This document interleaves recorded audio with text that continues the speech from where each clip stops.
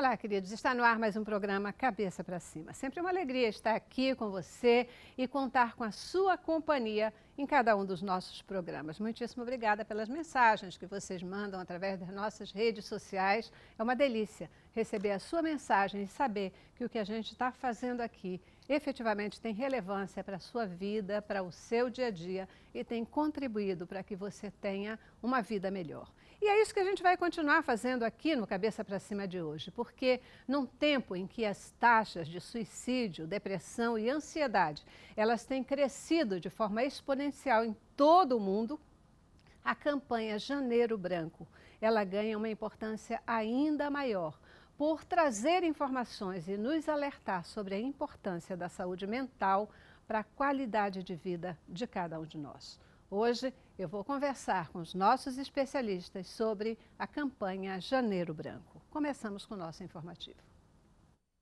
As doenças e transtornos mentais afetam mais de 400 milhões de pessoas em todo o mundo, segundo a Organização Mundial da Saúde.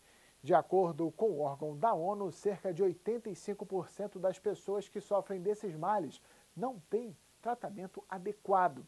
Aqui no Brasil, a estimativa é de que mais de 25 milhões de pessoas passem por tais problemas. De acordo com os dados da OMS, a quantidade de casos de depressão, por exemplo, cresceu 18% em 10 anos.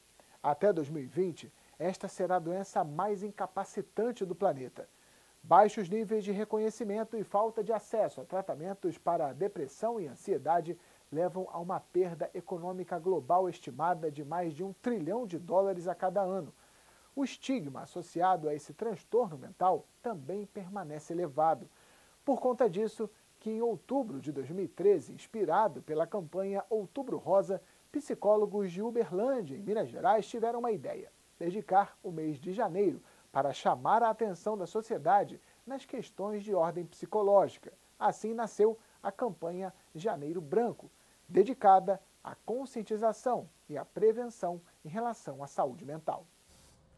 É isso aí, né, gente? E é super importante a gente poder falar sobre esses temas que afetam o psicológico de cada um de nós, porque a gente pode dizer, pode afirmar que é, há muito pouco tempo começou-se a dar importância para a questão psicológica nas pessoas, né? É, é, é, é um, há um tempo recente, qualquer questão que não fosse física no corpo, podia ser considerada aí como piti, como fricote das pessoas, etc.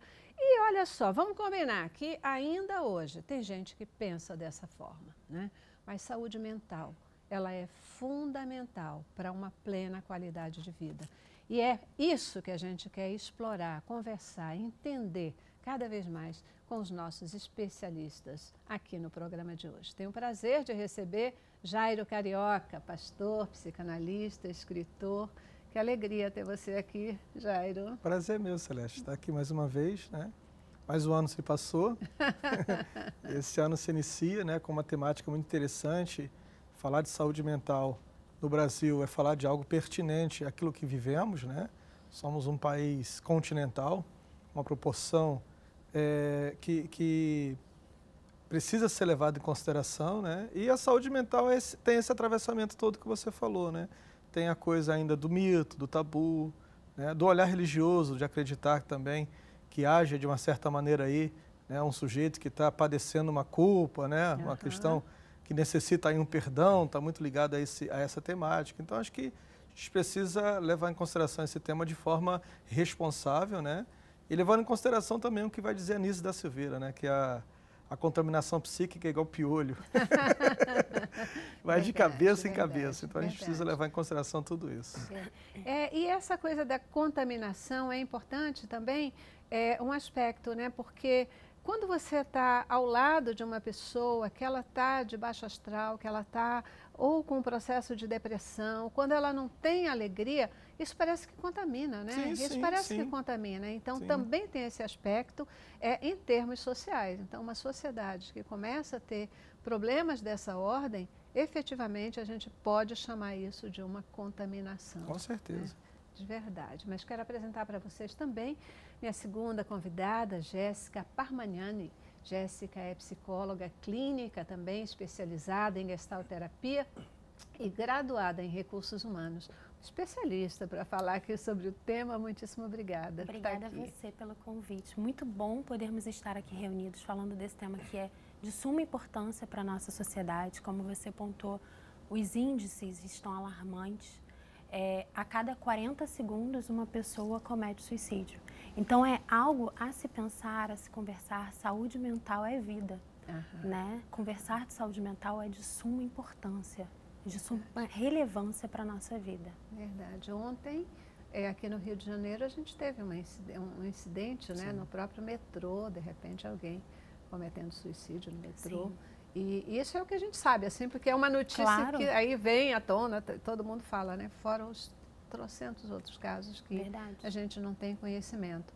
E a gente não pode deixar de levar em conta que é, são índices que crescem em todo o mundo, né? Em todo o mundo. Então, o que está acontecendo? Não é possível, né? Alguma coisa precisa ser cuidada de verdade nesse contexto e é isso que eu quero saber de vocês, né? O que, como, onde, por quê? Mas antes tenho que apresentar para vocês o Vinícius Marques, ele que é gestor de recursos humanos e também estudante de psicologia. Uma alegria ter você aqui, Vinícius. Eu que agradeço o convite. Né? Esse tema é um tema também é, muito importante, né? como todo mundo já falou. É um tema muito caro né? e precisa ser falado. É, e, e hoje a gente vê que essa questão do, do, do, suicídio, da depressão, ela está muito presente também no mercado de trabalho. Né? Verdade. A crise que se acentuou aí com milhões de desempregados, isso fez com que muitas pessoas né, é, procurassem isso como alternativa. Uhum. Né? E aí a gente precisa falar sobre isso. Né? Uhum. Então, é um, é um assunto muito importante, um período do ano também onde muitas pessoas estão reflexivas com o que vai ser, né? Ao longo do, do ano inteiro. Então é importante que se fala sobre isso sim e que se traga isso para dentro de todos os, os âmbitos para a gente poder discutir isso mesmo. Verdade. Isso é uma coisa que me chamou a atenção, né? Vocês dois trabalham com recursos humanos, essa vertente empresarial, é, e esse é um fato real. As empresas precisam se preocupar né, com a saúde, não apenas a saúde física, mas também a saúde mental dos seus funcionários, é, da sua equipe, porque isso faz toda a diferença, isso interfere na produtividade, na motivação da equipe e nessa questão toda. É, é, vamos falar um pouquinho sobre a questão da campanha em si. Por que branco, hein? Por que a escolha da cor branca quando a gente vai falar sobre saúde mental? Eu achei linda a escolha. É, janeiro, como meu amigo Vinícius falou, é por conta de, de uma cultura onde nós já estamos predispostos a refletir, né, um momento em que todos nós paramos e refletimos o que queremos manter naquele ano, o que queremos deixar para trás. É uma época em que nos conscientizamos do que queremos construir, de formar metas. E a cor branca, e é muito bonito porque a criança ela aprende num papel em branco. O pintor ele pinta numa tela em branco. É, o poeta ele escreve o poema numa folha em branco. Então, branco, ele, e, além disso, o branco ele tem todas as cores, uhum. né? E ele adere todas as cores. Então, é como se nós disséssemos para o indivíduo assim: dentro de você cabem todas as possibilidades, dentro desse ano cabem todas as potencialidades, cabem todos os sonhos, todas as metas. Então, é um momento em que convida esse sujeito a parar e refletir sobre o que, que, ele quer fazer, sobre como é a vida dele, como é que são as relações, como é que ele tem se relacionado com a vida, com os outros, com os colegas de trabalho, com as pessoas, com as famílias, etc. Então, é um momento em que ele para para refletir. Por isso que é a campanha Janeiro Branco. Impulsionar o indivíduo a fazer uma autoanálise, a fazer uma autodescoberta. E... A Jéssica me lembrou Antoninho Arthur, né? Há 10 mil maneiras de se viver a vida. né? e, e, é interessante isso, porque o sujeito que está sofrendo, ele sofre exatamente porque ele não consegue visualizar um outro estilo de vida, um outro tipo de vida, né? Friedrich Nietzsche ele vai dizer que as realizações da vida, elas são resultado de uma experiência de superação. Então, é, é Janeiro Branco, como disse meu amigo Fini, né?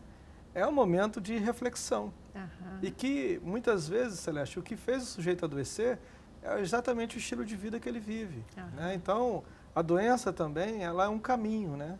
Eu não entendo a doença como uma coisa, uma coisa final. Ela é um caminho. Ela é algo que te aponta que alguma coisa não vai bem. Uhum. E aí você precisa mudar a rota, mudar o caminho, né? E aí, quando você tem essa experiência de dialogar com outros sujeitos sobre os atravessamentos pelos quais você passa, você tem uma experiência maravilhosa de superação. Né? E superar um problema, uma dificuldade, traz um conforto, traz um, um resultado que a gente pode chamar até de cura. Né? é verdade, né? Porque é, às vezes a gente chama, a gente acha que cura é a doença totalmente é, superada, é ausência, né? saneada, né? ausência né? de qualquer coisa de doença. Mas eu gosto de pensar que quando você se movimenta em relação a um problema que você tem, quando você dá um passo que você sai do lugar, né? Isso já é um processo de cura, né? Sim, Já sim. começou a acontecer essa cura. E, gente, é muito interessante porque quando a Jéssica está falando aí, explicando sobre o branco, né, nesses Jéssica é exemplos é do papel em branco, é, é, do significado, da proposta do branco, né, é, também me ocorre, e você fala da superação, também me ocorre que a situação mais difícil é a gente sair do zero né, sair desse movimento. Então, muitas vezes, a coisa mais complicada é você, com papel em branco na sua frente, começar a uhum. escrever. Uhum, fazer as primeiras letras, fazer né, é, o primeiro desenho, o primeiro traço. Agora, depois que você faz, ou depois que alguém faz, trabalhar em cima é uma maravilha, né? Você caminhar a partir dali é uma maravilha. Então, esse branco, esse papel em branco também, né? Nesse sentido da superação, do impulsionamento para que é, a gente saia do lugar, para que a gente vá em frente, para que a gente se mobilize. E é, é, o outro fator interessante é sair do lugar, dar o primeiro passo, depende de quem. Essa, essa, essa metáfora que a Jéssica usou e você está falando, me lembra muito o, a própria história né, do Museu do Inconsciente ali com a Nise da Silveira, né? Quando o filme mostra, o filme é, Nise da Silveira, o Coração da Loucura, é exatamente essa cena, né? A tela em branco e ali o, aqueles loucos, né? Com um pincel, sem saber o que fazer.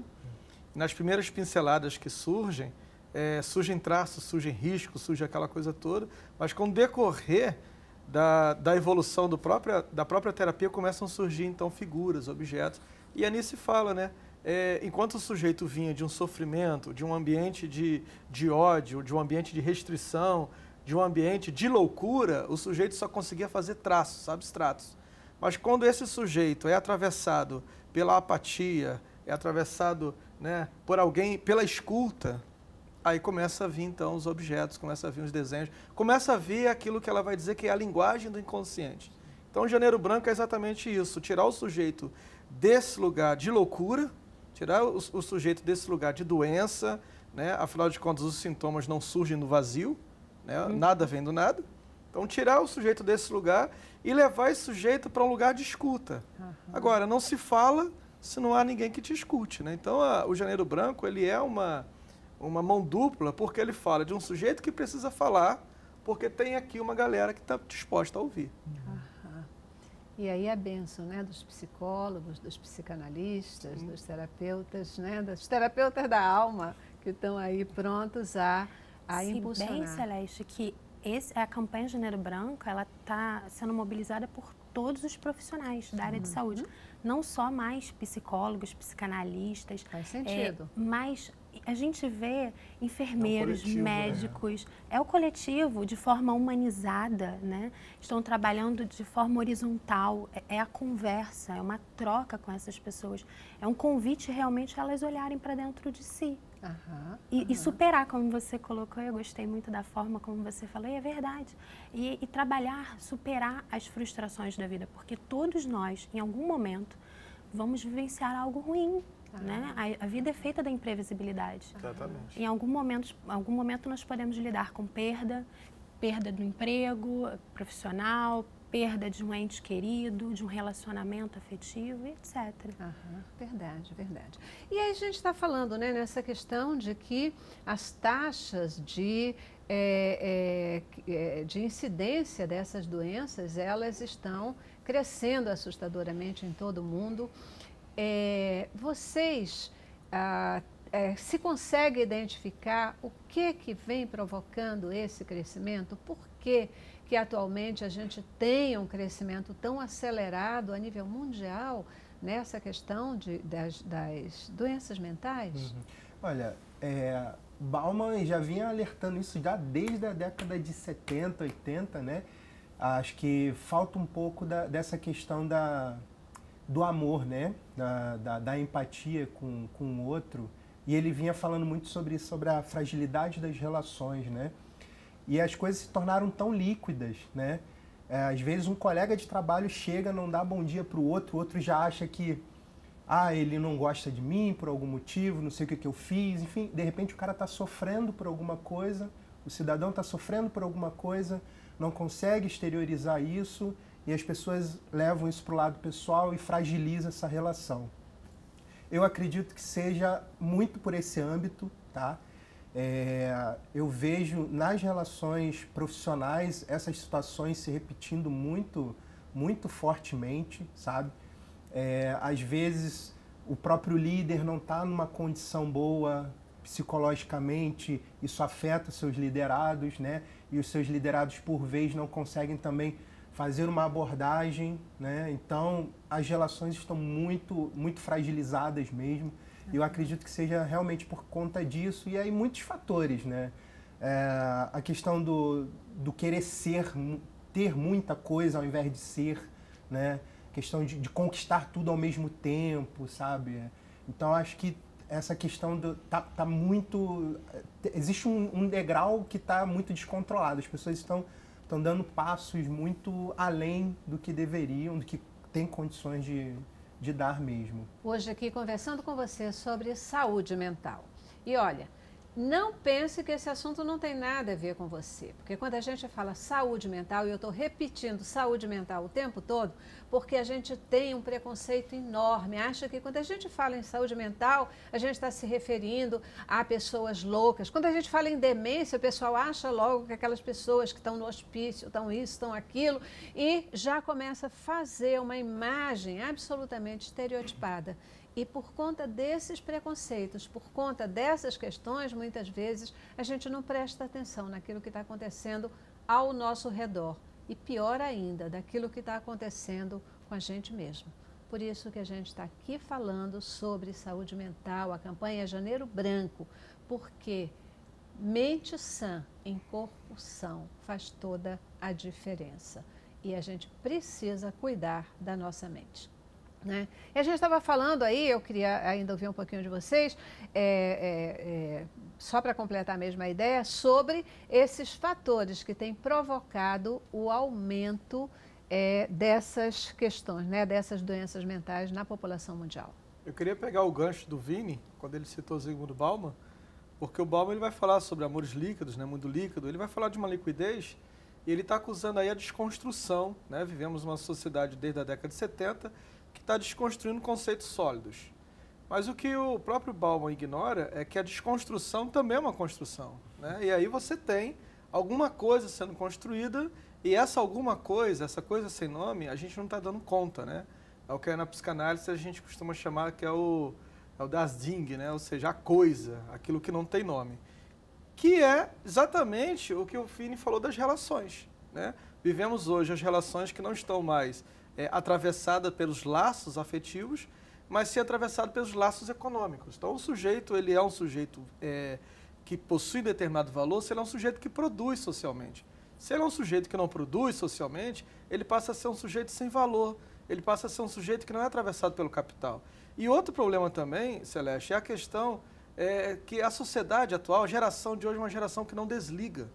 É uma geração é, de WhatsApp, é uma geração de smartphone, é uma geração de, de tablet, é uma geração que não desliga. E isso tem trazido diversas pesquisas, inclusive dentro do campo da neurociência, que mostra que esse não desligar tem afetado o comportamento mental das pessoas, uhum. causando aí uma aceleração, né, uma ansiedade, causando aí depressão, é, crianças hoje com alto índice já de, de distúrbios, né, de transtornos de hiperatividade, exatamente por causa dessa geração que não pode, né? Que não, que não sabe o que é plantar uma planta, uhum, que não sabe, né? É, citando aqui o, o, nosso autor favorito, Antônio Santos Perry, né?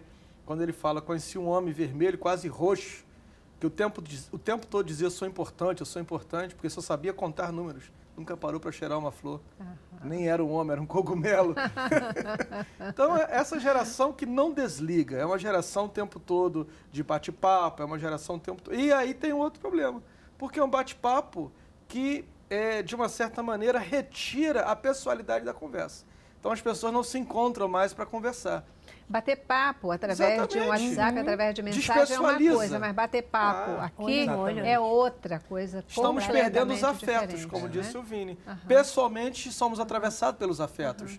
Pela rede social, Uhum. Você tira a pessoalidade da fala. É, e é moleza, né? Você responder, fazer, parará, dizer não, dizer sim, é através de uma rede social.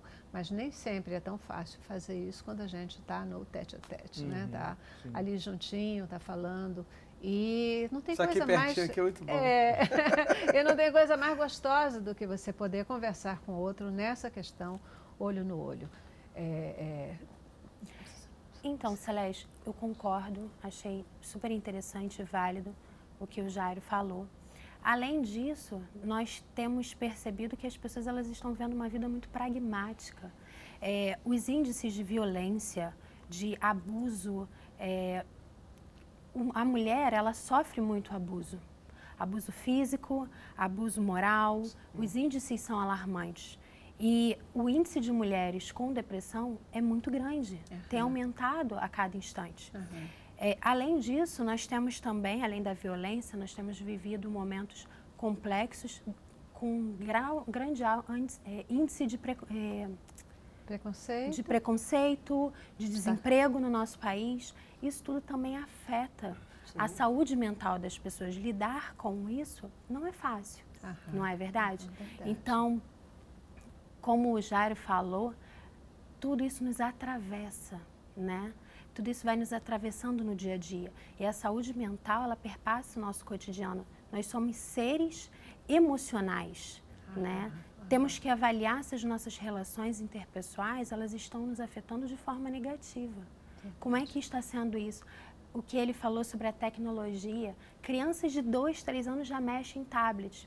E aí mal sabem brincar, e brincar é tão importante para a aprendizagem, uhum, não é verdade? Uhum. O contato humano. Uhum. Nós somos seres sociais, precisamos de contato. Verdade. Isso tudo vai fragilizando as nossas relações conosco e com o outro. E com o outro, é verdade.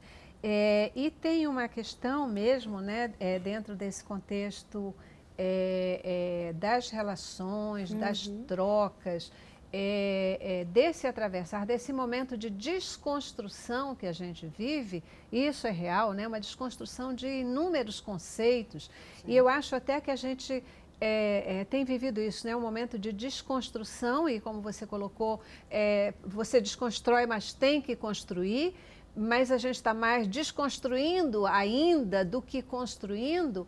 E nesse tempo, é, todo mundo fica muito perdido. Né? Hoje, é, a gente fala família, o que é família, é, qual é efetivamente o papel do pai, qual é o papel da mãe, qual é o papel da mulher, qual é o papel do homem, é, como é que é essa história, né? qual é o papel do patrão, qual é o papel do empregado, qual é o papel.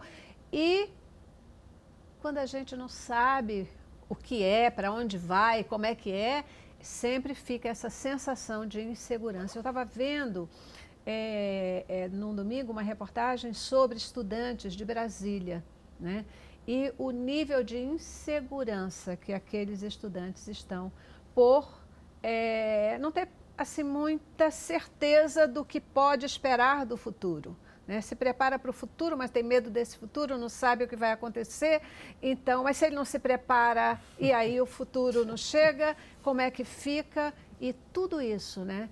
é o tempo que a gente está vivendo. E a gente precisa entender esse momento para buscar é,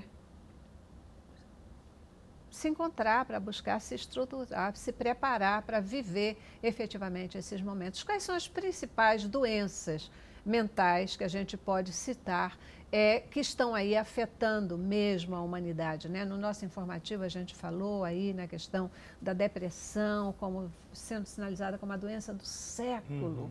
Gente, que loucura. Né? E muita gente acha que depressão é bobagem, é uhum. é uma questão de sai dessa, né? Vamos É frescura. Ah, é frescura, não é né? frescura. Né?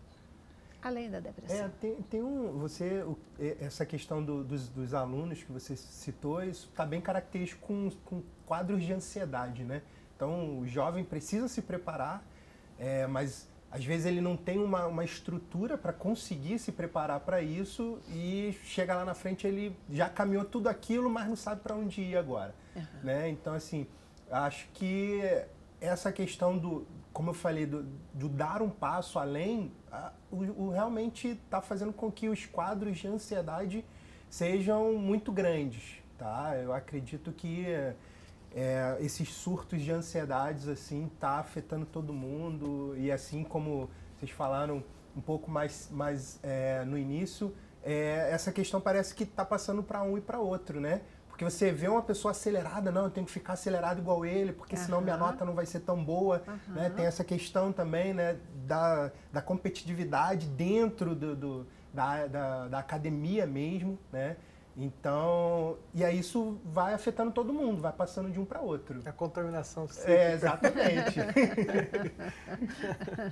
a, acho que a, a, a grande questão né, é exatamente trazer esse tema para o debate popular. É, era um tema que se debatia muito academicamente, né? Uhum. A gente até fala muito isso, né, Jéssica, Vini? A gente participa de alguns ambientes de debate que é descaracterizar o discurso acadêmico porque isso não atinge o povo, né? Uhum. O povo não entende esse, uhum. nessa, nessa linguagem. Então, você precisa trazer para o entendimento e fazer com que o povo mesmo discuta isso. Existe um, um psicanalista em São Paulo que ele montou um coletivo é, onde a psicanálise ela passa a funcionar na, no que ele chama de casa do povo, né? atendendo ali de forma gratuita, inclusive, porque é verdade seja dita, né? a terapia ainda é uma coisa cara para muita gente, uhum. né? não é todo uhum. mundo que pode pagar uma fortuna de plano de saúde ou mesmo para um psicólogo. Então, é, a partir então da, de, uma, de, um, de uma tomada, inclusive, que era do Hélio Peregrini, na década de 70, né, também em São Paulo, fazer esse atendimento popular. Então, a, a, a, questão de entender aquilo que você deixou bem claro, Celeste, que não é uma questão aqui, Rio de Janeiro, Brasil, não. É uma questão no mundo inteiro, porque só estamos atravessando é uma problemática política, econômica, social. Isso é no mundo inteiro. Você vê agora mesmo né, aí causas, né, vários, vários eventos acontecendo na França, você vê várias questões acontecendo na Venezuela, na Argentina, quer dizer, no Brasil. Então, assim, vários fatores. E, numa, e no mundo cada vez mais globalizado, o que acontece lá na outra ponta atinge aqui. É. Rapidamente. Atinge né? aqui, né? Na China. A gente viveu um, um, tempo muito forte em 2018 com a coisa de a Coreia joga bomba, a Coreia não joga bomba. Quer dizer, então tudo isso vai adoecendo e aí esse mundo globalizado vem a questão dos efeitos colaterais. Uhum. Atinge a todos. Então, o sujeito hoje é um sujeito atravessado pela política, pela economia, pelo social. Né? Daí que, que uma sociedade, você vai ver sociedades com níveis maiores de adoecimento, lugares com níveis menores de adoecimento. Então, você vê que a política local influencia bastante. Daí que, que muitos municípios têm aderido à campanha de Janeiro Branco por entender aquilo até que o nosso amigo trouxe no informativo, que pensar saúde mental também vai refletir no, no, na questão financeira. Com também certeza. vai investir lá na ponta do SUS, vai investir toda essa área. Então, assim, é, também tem que fazer parte das políticas públicas. Exatamente. Né? Tem que fazer, tem que ser pensado.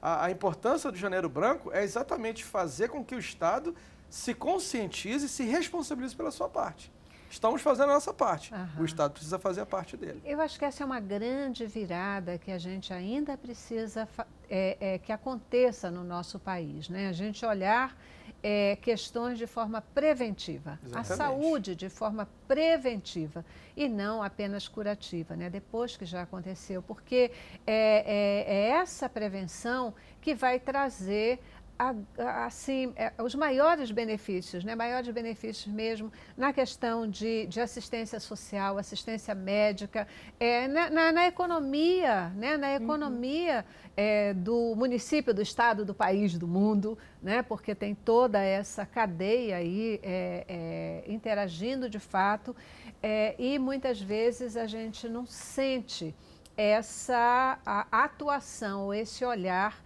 é, dos nossos governantes. Né?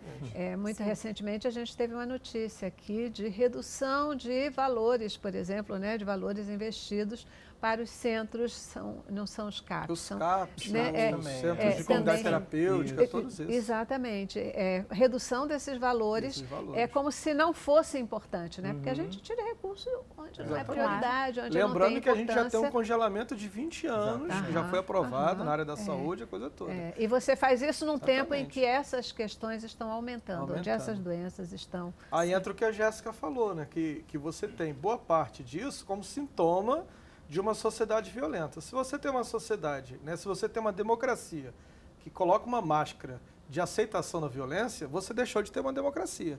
E aí você tem os sintomas. Às vezes a gente está tentando é, olhar para esse tipo de doença como se fosse uma doença primária, quando na verdade ela é um sintoma de uma sociedade, de uma política, de um, governo, de um sistema econômico. Né? E aí quem vai sofrer mais nesse sintoma? Aí entra o que ela disse, as mulheres, né? Ah, você tem um caso ontem que chocou praticamente o Brasil inteiro de uma mãe que tem um bebê ah, no chão no de um chão hospital. hospital. A Sim. própria mãe precisa massagear o bebê para saber se ele está vivo ou não. Quer dizer, é, entra no que ela falou, vai sofrer mais as mulheres. E que mulheres vão sofrer? Aí você vai ver pobres, negros, e aí, e aí por aí vai. Quais são os objetivos da campanha Janeiro Branco?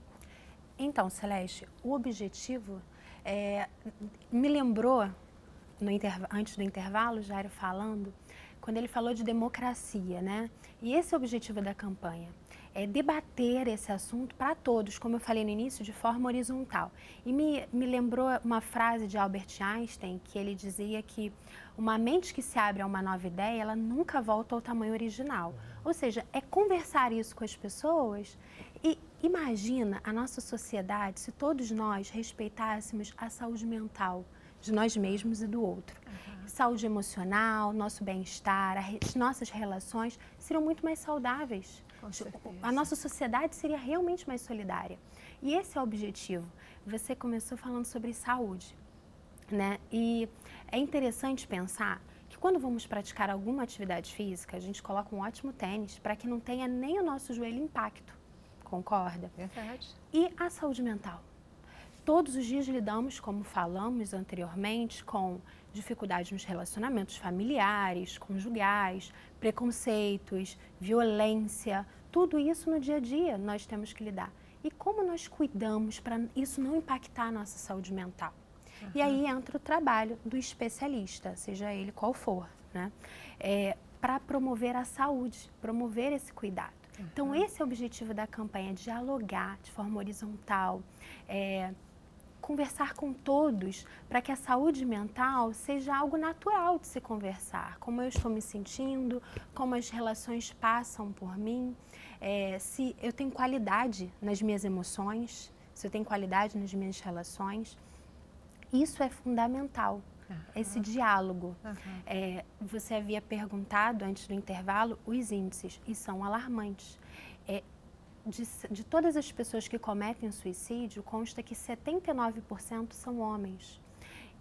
79% são homens é um número assustador. Total. E aí eu trago a reflexão para todos nós do preconceito que não sei se já ouviram, mas eu ouvi várias vezes mães, pais, professores falarem para crianças, rapazes, menino não chora, não é, é verdade? Homem não engole chora. Engole o choro, menino Engo chora. Perfeito, engole o choro. Então, desde pequeno vai se construindo nesse ser é, a falta de contato com as suas emoções. O homem não pode sofrer, o homem não pode chorar. Aliás, eu, eu acho, eu, eu, eu, eu louvo a Deus porque no meu olhar, é, desculpa, assim, te cortando um pouquinho, Mas eu louvo a Deus porque isso vem sendo, é uma das coisas que vem sendo desconstruída. Uhum. Né? Perfeitamente. O homem, sim. ele pode chorar, ele pode. pode. amar, ele pode acariciar, ele pode cuidar do bebê, pode cuidar da criança, ele pode abraçar. Gostar de planta. Meu Deus, pode de gostar flores. de planta, entendeu? Isso não é problema nenhum, isso não afeta a masculinidade.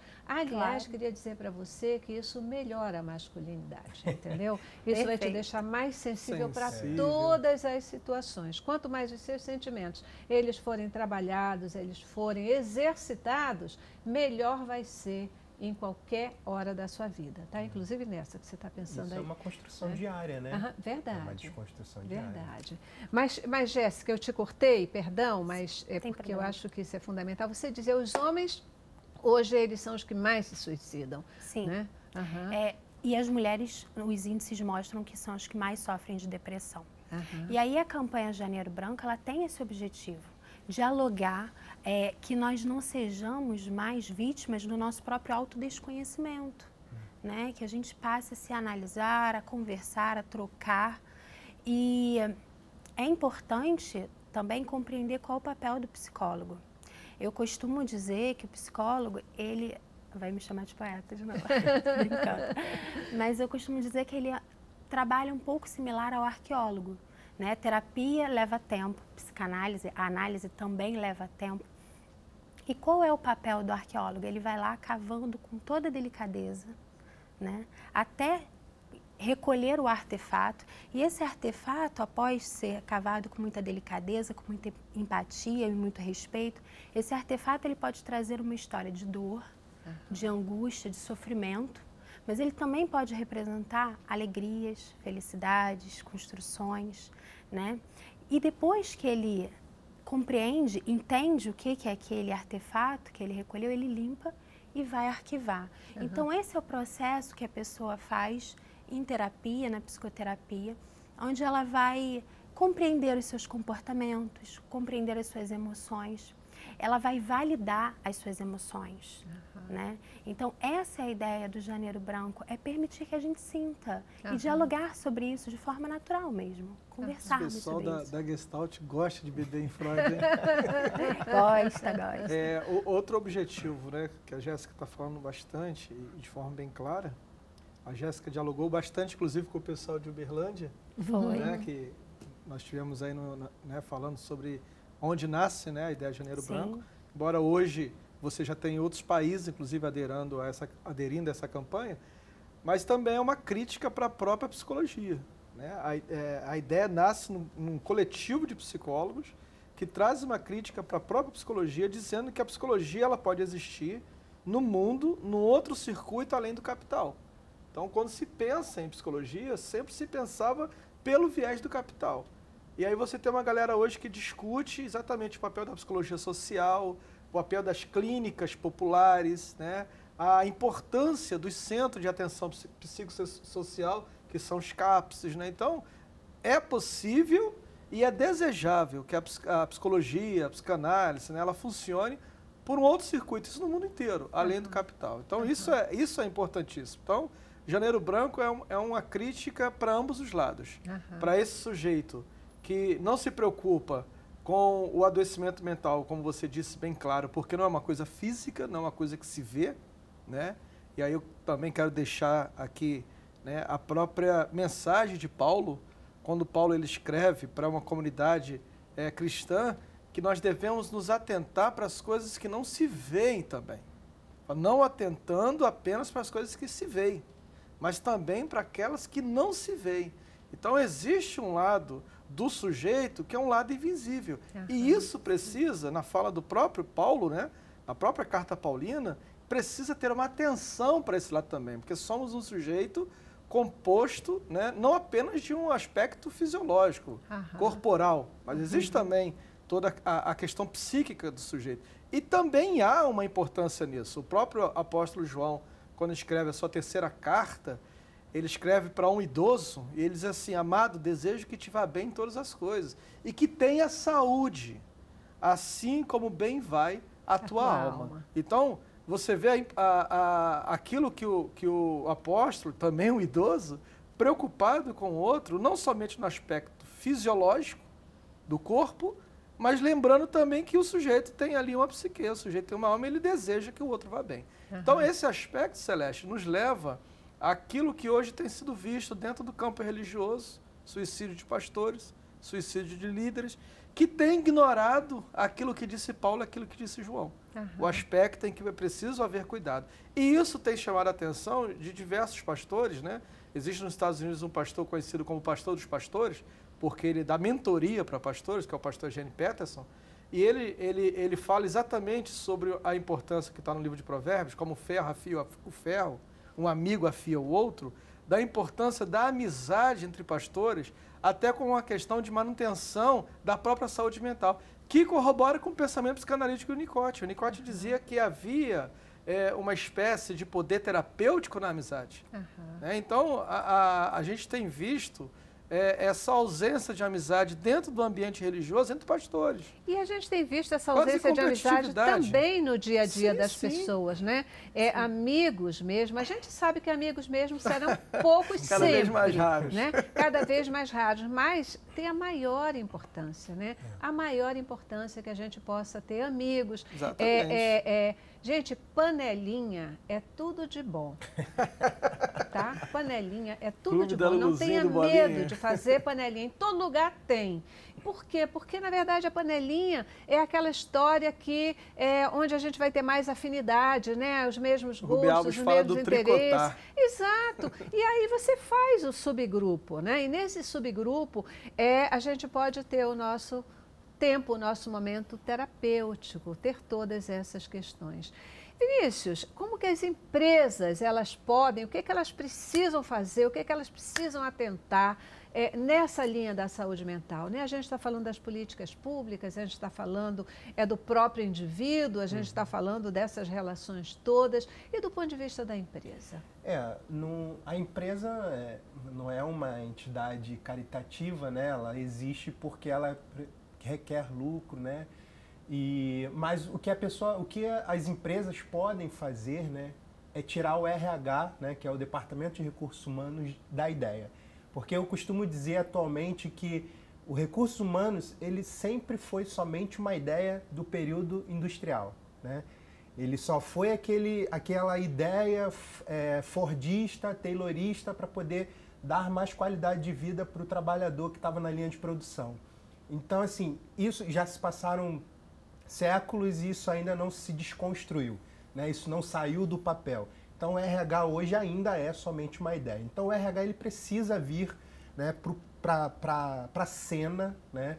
Ah, os profissionais que trabalham nesse departamento precisam, de fato, atentar à qualidade de vida dos seus profissionais que estão lá, né? É, olhando realmente para essas questões que eu falei. Às vezes a pessoa não dá um bom dia porque ela, realmente para ela não é um bom dia, uhum. né?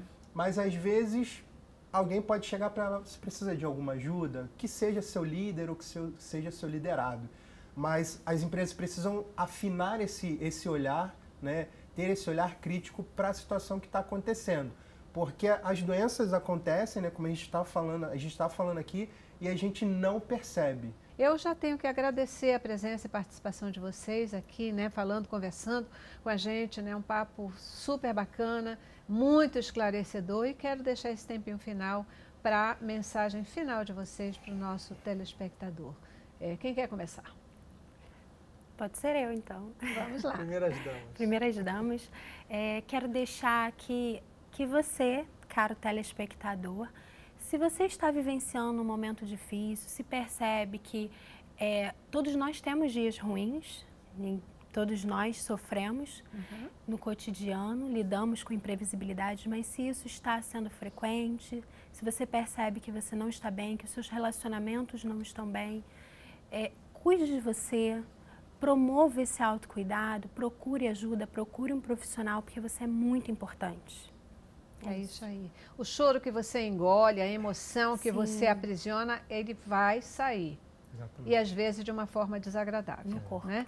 Ele vai sair de alguma forma no corpo, às vezes numa agressão, na tolerância, Sim. mas ele vai sair de alguma forma, não vai ficar preso, né? Ilusão da gente. Uhum. Verdade. Então, é, deixar a mensagem tá, para vocês que assistiram esse programa, é, fale, procure alguém para poder falar, um amigo, um familiar, sabe? Alguém que vocês confiem, tá? É, que vocês acreditem que essa pessoa vai acolher, né? É, esse, esse, seu, essa sua dúvida, esse seu momento, essa, esse seu conflito.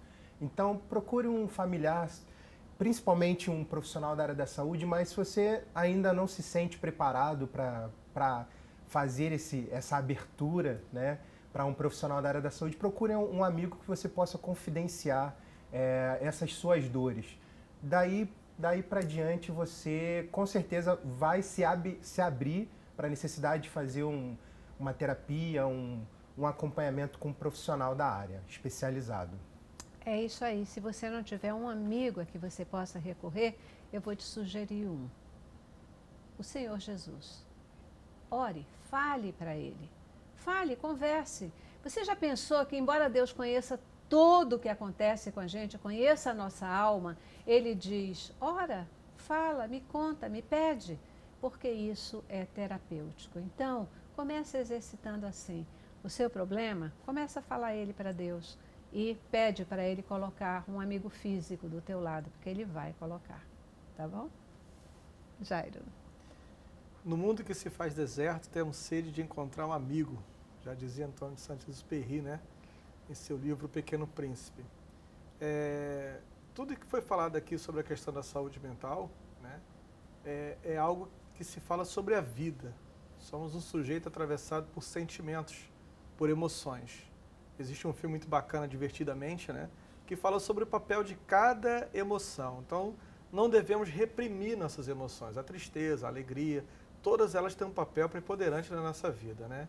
E quem não surta de vez em quando, surta de uma vez. e quero deixar aqui a mensagem da camisa, né? Que é a mensagem do, da campanha Gênero Branco, que quem cuida da mente, cuida da vida. É, tem uma igreja nos Estados Unidos que fez a campanha que eu achei muito interessante. Leve Jesus para casa, mas não esqueça de ser terapeuta. É isso aí, é isso aí. Até porque é isso, o Senhor ele cuida da gente através dos medicamentos, dos médicos, dos terapeutas, Sim. etc. É, é, são Tudo pessoas, cuidado, né? né? que são é, agentes de Deus para cuidar, sim, da nossa saúde física e mental, né? Mais uma vez, muitíssimo obrigada pela presença e participação de vocês aqui com a gente, tá bom? Obrigada a você também. E a gente terminou o programa com boa música thighs.